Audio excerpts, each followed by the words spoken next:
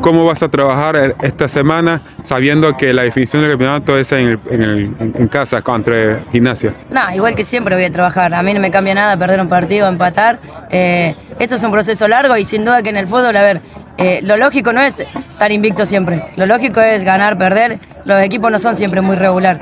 Hay muy poco porque le pasa hasta en primera división, que ni siquiera que va a puntero a veces regular.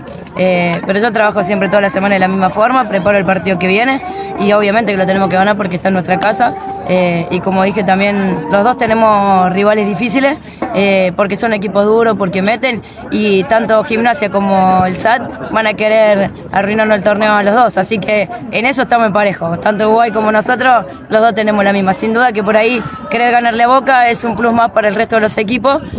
sabemos que a Uruguay también le van a querer ganar porque es el, el último los últimos, salió campeón de Copa Argentina, siempre llegó a la final del torneo pasado, es un equipo que siempre está ahí. Entonces